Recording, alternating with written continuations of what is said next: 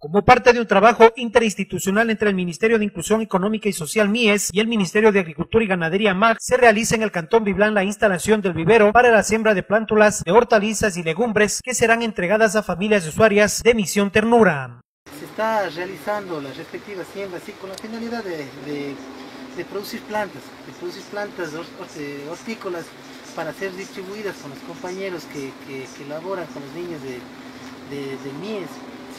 Eh, la finalidad de esto es, entregar un buen material vegetal de tal manera que ellos al cultivar estas plantas tengan productos de calidad tengan productos de calidad y totalmente sanos, fuera del, uso de agroquímicos, lo cual eh, va a repercutir en, que en, tener una buena salud con, los compañeros que vayamos a, trabajar. ¿sí?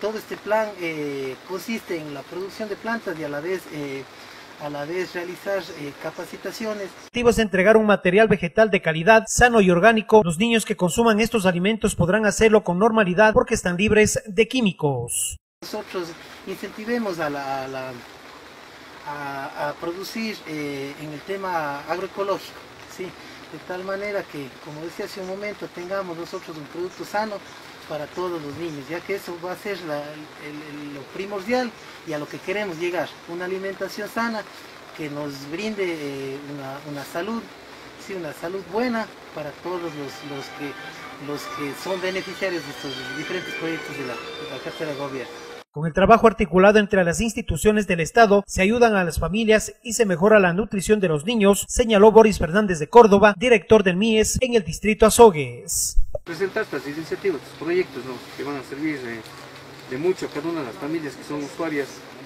y que claro, pretenden en, último caso no solamente que tengan un huerto familiar, sino que este huerto tenga las plantas necesarias o las utilizas necesarias para sufrir o mejorar la nutrición de cada uno de los niños.